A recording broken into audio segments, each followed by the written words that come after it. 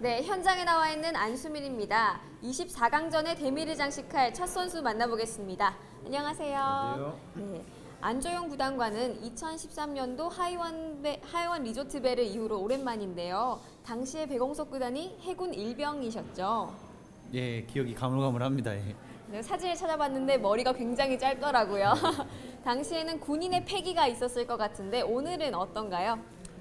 어, 사실 그, 그 당시 기억이 사실 가물가물한데요. 뭐 안조영 구단과는 워낙 뭐 예전에 같이 연구실에도 같이 있었고 뭐 대국도 많이 해본 사이이기 때문에 뭐 즐거운 마음으로 대국할 수 있을 것 같습니다. 아, 네. 그렇구나. 아마 그때보다 더 성숙한 바둑 보여주지 않을까 생각이 드는데요.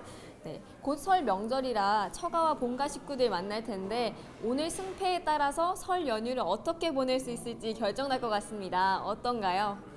어, 아무래도 이기고 가야 좀 더 반겨주시지 않을까요? 그래서 음, 비록 승패가 또 중요하지만 물론 또 네. 이기고 가서 좀 이쁨 받는 사위가 되고 싶습니다. 예. 네, 오늘 부디 좋은 결과 있길 바라겠습니다. 감사합니다. 마지막으로 바둑TV 시청자분들께 한 말씀 해주시죠.